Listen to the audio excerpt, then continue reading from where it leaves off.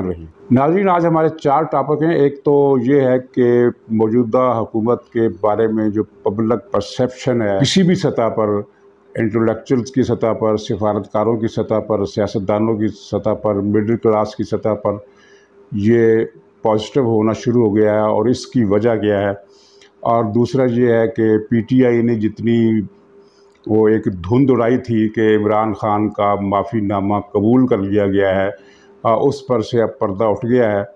तो अभी इसका ड्राफ्ट सीन नहीं हुआ। और तीसरा ये कि सुप्रीम कोर्ट में इमरान खान जो रिट दायर करने का सोच रहा है, उस पर पार्टी के अंदर भी शदीद कंसर्न है। और चौथा ये है कि इमरान खान लॉन्ग मार्च की काल क्यों नहीं दे रहा, उसके बारे में भी पीटीआई के अंदर एक परेशानी और बेयकीनी की सी कैफियत है कि इसका नतीजा क्या होगा। एक बहुत अहम मौजू इस हाक डार का है जो परसेप्शन से जुड़ा हुआ है, वो भी इसी के अंदर आएगा।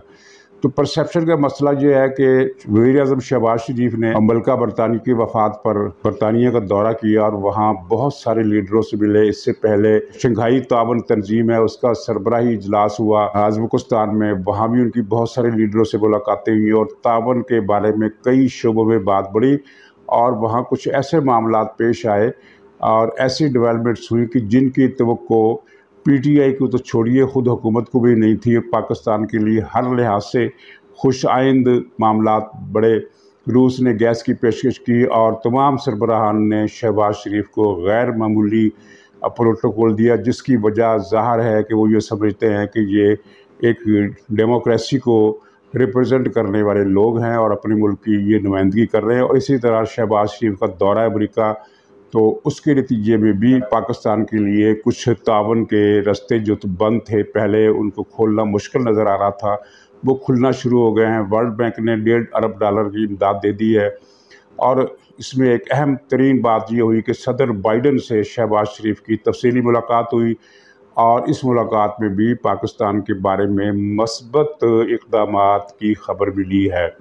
और वो बाइडन की तकरीर से भी मज़र है। बाइडन ने जिस तरह शहबाज शरीफ को खैर मकदम किया तो इतनी बड़ी कामयाबी की मुस्लिम लीग नून को उम्मीद नहीं थी, लेकिन ये हो गया है। और इस पर ज़ाहिर पी टी आई पहले तो एक बेयकीनी की कैफियत में रही और वो शहबाज शरीफ का मज़ाक उड़ाने की कोशिश करती रही कि इसने फ़लाँ के कंधे पर हाथ क्यों रखा। इसने फलां की कमर में हाथ क्यों रखा? इसने फलां का बाजू क्यों पकड़ा? इसको कान में माइक लगाना क्यों नहीं आया? पाकिस्तान की बहुत बेज़ती हुई ऐसी चीज़ों से बेज़ती नहीं होती। बेज़ती होती है जब आप किसी दूसरे सरबराह मुबरकत के साथ सोफे पर बैठें और अपनी टांग दूसरी टांग पर रख लें और पाँव का रुख उसकी तरफ़ कर दें, जिस तरह के इमरान खान की आदत है। इसने ये काम सऊदी अरब में भी किया, हालाँकि सऊदी अरब से पाकिस्तान जो है वो अमेरिका से भी ज़्यादा मोहतात है। इसलिए कि अमेरिका और आईएमएफ से हमें इतनी इमदाद नहीं मिलती जितनी सऊदी अरब से मिलती है, और सऊदी अरब से हर वक्त इमदाद मिलती है। किसी न किसी बहाने वो इमदाद करता रहता है, चाहे वो कर्ज़े की रकम की सूरत में हो या कर्ज़े की वापसी की मुद्दत बढ़ा दे या डेफर्ड पेमेंट्स पर वो पेट्रोल दे, कोई और मामला, वीज़े की सहूलियात वहाँ नौकरियाँ, यानी कितने ही ऐसे मामले हैं जो अमेरिका या किसी और दोस्त मुल्क के साथ नहीं हो सकते। चुनाचे सऊदी अरब के बारे में हमारी हुकूमतें और हमारे सियासतदान हमेशा एक्स्ट्रा केयर करते हैं और उसकी जो रिस्पेक्ट है सऊदी अरब की, वो भी मामूल से ज़्यादा है, लेकिन ये वहाँ सऊदी अरब गया तो वहाँ भी इसने टांग पर टांग रखी और हुक्मरानों की तरफ़ इसके पाँव का मुँह था और यही काम इसकी पार्टी के दूसरे लीडर भी करते रहे ख़ास तौर पर शाह महमूद कुरैशी। कोई भी लीडर इस पाकिस्तान में आए या ये उनके मुल्क में जाए, ये हमेशा टांग पर टांग रख कर उसकी चेहरे की तरफ़ अपना पाँव रख कर बैठता है और ये भी नहीं कहा जा सकता कि ये दरअसल वो लावाली पर में करते हैं। इसलिए कि जब भी इनकी तस्वीर आर्मी चीफ के साथ आई, शाह महमूद कुरैशी हो या इमरान खान हो तो ये मुद्दब बैठे नज़र आए। इसका मतलब है कि वहाँ से चूँकि जूता पड़ने का डर था, इसलिए इनका लाउबालीपन वहाँ नज़र नहीं आया। तो ये इस तरह की जो घटिया हरकतें मुल्क इससे बदनाम होता है। शहबाज शरीफ ने दौरा किया है अगर इसकी कामयाबी का हम पूरा सही पोस्टमार्टम करें तो वो चीज़ चली जाएगी कि खुशामद की जा रही है या हुक्मरानों की तारीफ़ की जा रही है, जो कि मेरे इस विलाग में कभी नहीं की गई। चुनाचे जो मैंने एक ऑब्जेक्टिव सा तबसरा रखा है, वो मैंने दे दिया है। और हाँ जहाँ तक पीटीआई की तकलीफ़ और दर्दोज़ियत की बात है तो वो मैं ज़रूर उसको यानी ज़्यादा हाईलाइट करता हूँ, क्योंकि मैं ये समझता हूँ कि ये पीटीआई जो है, ये पाकिस्तान की बुनियादों को ढाने के एजेंडे पर आई है। और वो कर रही है। हालिया सैलाब में भी इसने देखा आपने देखा कि इसने हर सतह पर वहाँ अमेरिका अमेरिका और यूरोप में भी बैठकर और पाकिस्तान के अंदर भी बैठकर इन्होंने इमदाद रुकवाने की कोशिशें की जो नाकाम हो गई। और इमदाद पिछले हफ़्ते तक जो ख्याल था कि पाकिस्तान की कुल ज़रूरियात का सिर्फ़ वन थर्ड हमें मिलेगा लेकिन अब पता चल रहा है कि ये फिफ्टी परसेंट से ज़्यादा मदद हमें जल्दी मिल जाएगी और अगले एक महीने के अंदर मज़ीद इमदाद मिलनी है और कुछ ऐसे इम्कान पाकिस्तान के लिए खुलने हैं जिसकी वजह से मौजूदा हुकूमत का जो परसेप्शन है वो बहुत बेहतर हो जाएगा। इसी परसेप्शन के साथ जुड़ी हुई खबर इस डार की है, जिनकी वतन वापसी की राह हमवार हो गई है और नैब कोर्ट ने उनकी दरख्वास्त पर उनके दायमी वारंट गिरफ्तारी मुअत्तल कर दिए हैं। इसहाक डार एक हफ़्ते तक या दस दिन तक पाकिस्तान के अंदर होंगे और जो बड़ी खबर है वो ये है जो पहले भी हम इशारतन करते रहे हैं कि मियाँ नवाज़ शरीफ साहब जो हैं वो मफ्ता इसमाइल की पॉलिसी से और उनके इकतदी फार्मूलों से कतन मुतमिन नहीं है। इनकी पहले दिन से ये तजवीज़ थी कि शहबाज शरीफ वज़ी ख़जाना किसी को भी बनाएँ लेकिन वजारत ख़जाना के इख्तियार अपने पास रखें और उस फार्मूले पर अमल करें जो कि इस इसहाक डार ने तैयार किया है। इस इसहाक डार जो है वो उनका जो अंदाज़ है मीशत को चलाने का वो कुछ इस तरह का है कि वो आई एम एफ़ को भी किसी न किसी बात पर कन्विंस कर लेते हैं आदाद शुमार की रूह से या किसी भी तरीके से। और दूसरा ये है कि डॉलर की कीमत को भी वो कंट्रोल करना जानते हैं। और ये भी जानते हैं कि महदूद वसाइल के अंदर, जो कि अब ज़्यादा महदूद हो चुके हैं आवाम को कैसे रिलीफ दी जा सकती है? बिल्कुल इसकी मिसाल वैसे ही है, जैसे किसी कम आमदनी वाले घराने में अगर खातून सुगड़ हो तो वो कम अखराज में गुजारा खींच तान कर कर लेती है और अगर उसे सलीका ना आता हो तो महीना, आधा आधा महीना जो है वो इस फैमिली का फाकों में गुजरता है। हालाँकि अखराज आमदनी वही है अखराज भी वही हैं, लेकिन सुगड़ खातून और फोहड़ खातून का जो फ़र्क है, वो इसहाक डार और मफ्ता इसमाइल में भी हमें नज़र आता है। तो मफ्ता इसमाइल साहब ने जो कुछ भी किया, उसका नुकसान पब्लिक में मुस्लिम लीग नून को पहुँचा, क्योंकि आवाम की मुश्किल बहुत ज़्यादा बढ़ गई। खुलासा इस इनकी पॉलिसी का ये है कि ये रेवेन्यू जनरेट करने के नए तरीके, मुतबादल तरीके सोचते ही नहीं हैं, उन पर गौर देते नहीं हैं। इनकी वहद जो असर्शन होती है, वो इस बात पर होती है कि बिजली के बिल बढ़ाकर सारे पैसे पूरे कर लो। अब अक्टूबर में ये फिर बिजली बढ़ाने जा रहे हैं और अक्टूबर में ये बिजली की कीमत में रिकॉर्ड इजाफा करने का फैसला कर लिया गया है। मतलब ये है कि गर्मियों में तो इनको खूब आमदनी हुई लेकिन सर्दियों में, अक्टूबर में जहार पंखे चलने कम हो जाएँगे, जो चला रहे हैं, उनकी रफ्तार स्लो हो जाएगी और कई इलाके तो पाकिस्तान के ऐसे हैं, जहाँ शायद अक्टूबर के वस्त में पंखे चलने सिरे से ही बंद हो जाएँ। तो इन्होंने ये सोचा है, मुफ्ता इस्माइल साहब ने कि टैरिफ इतना बढ़ा दो कि जितना बिल गर्मियों में आता था, उतना ही बिल सर्दियों में भी आए। तो ज़ाहिर है ये एक जुल्म है और मुस्लिम लीग की सियासत को तबाह करने का इससे बेहतर नुस्खा कोई नहीं है। तो ये आम तो की जा रही है और बड़े ज़िम्मेदार हल्के ये तो कर रहे हैं कि इस हाक डार की आने से उनकी वज़ीर ख़जाना बनने से क्योंकि ये तय है तकरीबन कि वो जब पाकिस्तान आएँगे सैनट का हलफ उठाएँगे तो साथ ही उन्हें वज़ीर ख़जाना बना दिया जाएगा और वो फौरी तौर पर इकतदी मामलात में अपना ऑपरेशन करेंगे और ये जो तो, यानी अवाम की गर्दन के गिरद शिकंजा जो दिन ब दिन ज़्यादा से ज़्यादा कसा जा रहा है उसको थोड़ा ढीला करेंगे। तो ज़ाहिर है इसके बाद सूरत हाल में जो बेहतरी आएगी वो सियासी मामलात के लिए गेम चेंजर साबित हो सकती है। और ये उम्मीद रखनी चाहिए। और इस डार का किस्सा माजी का आपको पता है कि उनको निकाला ही इस बात पर गया था कि वो चाहते थे कि आवाम को रिलीफ दिया जाए और तरक्याती इकदाम किया जाए। जबकि बड़े जो कहते थे कि जितना भी तुम्हारे पास पैसा है सारा हमारे हवाले करो। छोड़ो आवाम को रिलीफ और ये सड़कें स्कूल कॉलेज अस्पताल ये बकवास बातें। तो इस आगदार नहीं माने तो चुनाचे उनको नवाज़ शरीफ के साथ और मरीम के साथ यकसा मुजरम करार देकर रांदा दरगाह बना दिया गया, बल्कि निशान इबरत बना दिया गया और इन लोगों ने जो सब्र किया और जिस तरह ये ज़्यादा रोए पीटे बगैर इन्होंने एक बहुत ही बड़ी बर्दाश्त का मुजाहरा किया उसकी जो अब नतीजा खेजी है, वो अब सामने आने वाली है। अब उनको भी एहसास हो गया जिन्होंने निकाला था कि हमसे बहुत बड़ी गलती हो गई। हमने तो पाकिस्तान की बुनियादों पर अपने हाथों से कुलाना चला दिया। तो ये एक फंडामेंटल चेंज है, वो जो आने वाला है। तो नाजीन माफ़ी तलाफ़ी वाली जो बात है, उसमें मुख्तर मैं अर्ज़ करूँगा कि अभी जो इमरान खान का माफ़ी नामा है, जिसके बारे में हामद खान ने बाद में जाकर ये कहा अदालत से बाहर के हमने माफ़ी नहीं मांगी, गैर मशरूत माफ़ी नहीं मांगी। हमने तो सिर्फ़ कहा है कि अगर दिल आज़ारी हुई है तो माजरत के लिए तैयार हैं।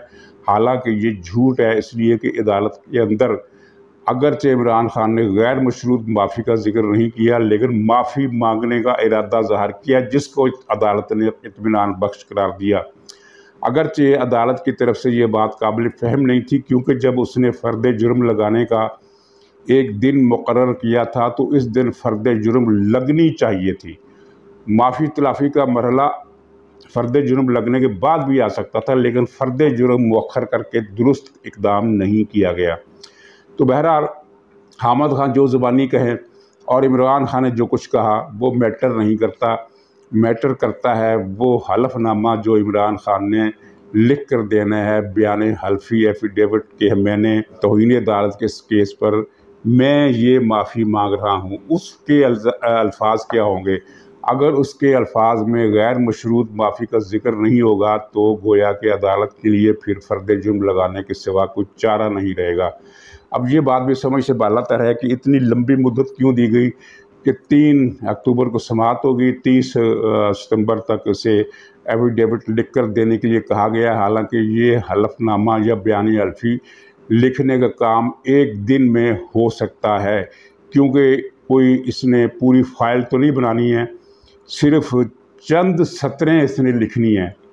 चंद सतरें लिखने में पाँच मिनट लगते हैं। उसके बाद वकील को दिखा, दिखाना चाहिए कि इसमें कोई ऐसा लफ्ज़ या कामा तो नहीं आ गया जिससे मतलब कुछ उलट हो जाए और या अदालत इसको मुस्तरद कर दे। तो उसमें चलिए आधा घंटा लगा लें। यानी ये एक घंटे का काम था जिससे करने के लिए इमरान खान को आ, दस दिन की मोहलत दी गई। ये बड़ा एक नादर वाक़ है पाकिस्तान की अदालती तारीख में। तो बहरहाल कहने का मतलब ये है कि ये जो आ, मामला है माफ़ी का अभी टला नहीं। ये जो कुछ लिख कर देगा फैसला उस पर होगा जो कुछ इसने ज़बानी कहा या जो कुछ हामद खान ने कहा उस पर फैसला नहीं होगा। और तीन को फिर ये फैसला होगा कि इसका जो माफ़ीनामा है, ये अदालती अहकाम के मुताबिक है या नहीं, इसको कबूल किया जा सकता है या नहीं, या इस पर फ़र्द जुर्म की कार्रवाई लगती है कि नहीं? मतलब ये है कि जो तलवार इस पर लटकी हुई थी तोहन अदालत वाले मामले में, वो जू की तो लटकी हुई है, उसमें कोई चेंज नहीं आया। तो नाजरीन, इसके आगे चलते हैं। जो सुप्रीम कोर्ट में ये लेकर जा रहा है, जो इतला सुनने में आई है कि फ़ैसला इन्होंने किया नहीं है, लेकिन सोच विचार जारी है कि आर्मी चीफ की तकर्री का अख्तियार शहबाज शरीफ के पास नहीं होना चाहिए, क्योंकि इसने लंदन में नवाज़ शरीफ साहब से मशवरा किया है, जो कि मफरूर इश्तहारी मुलम है और इसके साथ मशवरा नहीं किया जा सकता।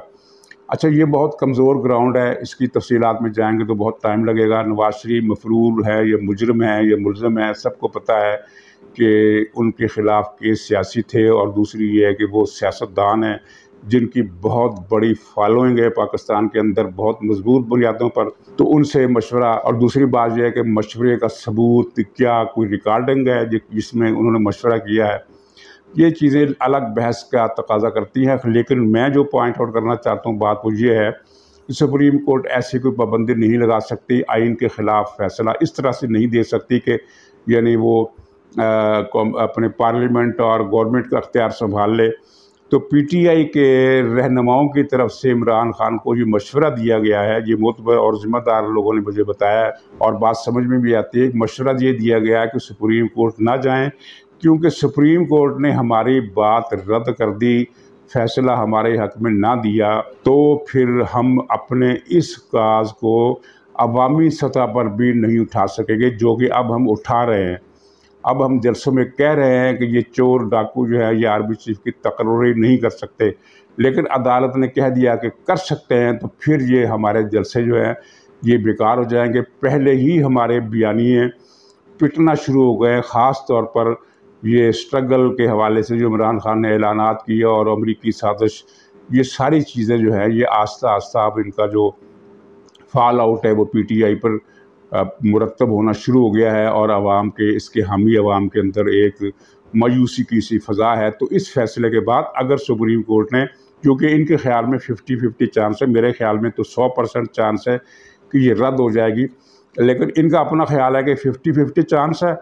तो अगर हमारे हक में फ़ैसला आ गया तो बहुत बेहतर है। लेकिन अगर हमारे ख़िलाफ़ फ़ैसला आ गया तो हम मारे जाएँगे। जो इशू हमारे हाथ में है, वो हमारे हाथ से निकल जाएगा। और सेम यही चीज़ लॉन्ग मार्च के हवाले से। लॉन्ग मार्च ये भाग गया है, ये आपके इलम में है। और इस पर भी पार्टी के लोगों ने यही कहा है कि आप लॉन्ग मार्च की तारीख मत दें, इसलिए कि नाकामी के चांसेस ज़्यादा हैं। वहाँ फिफ्टी फिफ्टी का कहा था, यहाँ ज़्यादा का कहा है। नाकामी के चांसेस ज़्यादा हैं। 25 मई को नाकाम हुए थे हम तो उसका एक टेंपो हमारे ख़िलाफ़ गया।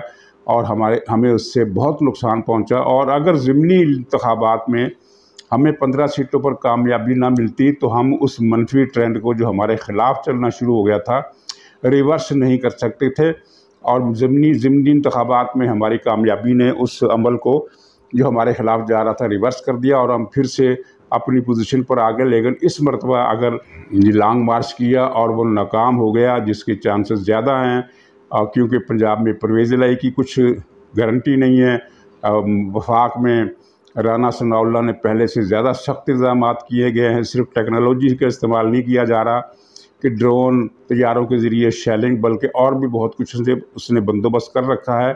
और ये इशारा भी उसने जो दिया है कि फ़ौज को बुलाया जा सकता है तो ये इशारा भी किसी से पूछे या किसी से मशवरा किए बगैर उसने नहीं दिया होगा। तो इन हालात में लॉन्ग मार्च की नाकामी का चांस ज़्यादा है और अगर ये नाकाम हो गया तो फिर हम नहीं उठ सकेंगे। चुनाचे इमरान खान ने अब ये पॉलिसी बनाई है कि वो काल दूँगा, काल देने वाला हूँ, काल के लिए तैयारी चाहिए, तैयारी होते ही काल दे दूँगा। ये स्ट्रेटजी अपनाई है कि हमने ये कुछ करना है। तो नाजीन आखिर में सदर उलवी साहब ने फिर कहा है कि मैं अपोजिशन और हुकूमत में मुजाकर कराने के लिए तैयार हूँ। ये बात उसने इमरान खान के बिहाफ पर की है। एक तरफ़ वो लॉन्ग मार्च की धमकियाँ दे रहा है, दूसरी तरफ़ सदर उलवी से उसने कहा है कि कुछ बीच का रास्ता निकालो, नहीं तो असी लगे गए हैं। तो ये जनाब अब तक की सूरत हाल है और आखिर में मैं ये नजम सेठी साहब का जो ताज़ा प्रोग्राम है, उसके अंदर से कशीद की गई एक इतला आपकी खिदमत में कंदे मुकर के तौर पर पेश करता हूँ कि वो जो मिस्टर बे फैज़ हैं, उन्होंने भी इमरान ख़ान को रिजेक्ट कर दिया है और मान लिया है अपने हलकों में कि ये मिस्टर लूज़र है। ये नजम सेठी साहब का प्रोग्राम आप सुन लीजिए वो बात पूरी तफसील से समझाएँगे। उसकी जो लाइन मैंने चुनी है वो यही सबसे अहम लाइन थी। आ, बाकी तो खैर उन्होंने कहा कि इमरान खान के मुकद्दर में नाकामी है इसके जीतने का चांस कोई नहीं। बाकी सारी बातें वो हम भी करते रहते हैं लेकिन ये बात इन्फॉर्मेशन जो थी वो नहीं थी। कि मिस्टर बेफैज ने मान लिया है कि इमरान खान लूज़र है और इसका साथ देने में नुकसान ही नुकसान है। तो नाजरीन, इजाज़त दीजिए इन अगले विलाग में फिर मुलाकात होगी। तब तक के लिए खुदा हाफिज़।